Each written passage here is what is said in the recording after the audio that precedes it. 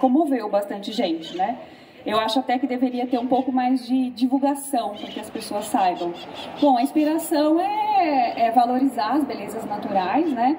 Mas eu ressalto que às vezes a gente fala que, os, que as pessoas, né, o cidadão aqui da cidade não conhece, mas o que, que atrai as pessoas? A infraestrutura urbana, né? Então, por que, que as pessoas se sentem como, é, mobilizadas a ir caminhar, fazer piquenique na Lagoa Maior?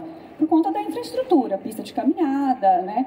Então, é reforçar a importância do poder público de, de urbanizar, né, minimamente, essa lagoa que foi o, o alvo né, do concurso, para que atraiam as pessoas, né, para fazer uma caminhada no final da tarde, enfim.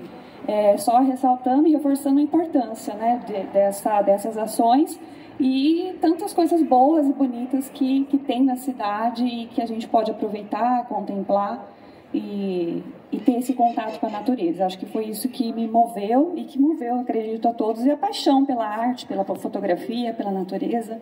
Muito obrigada.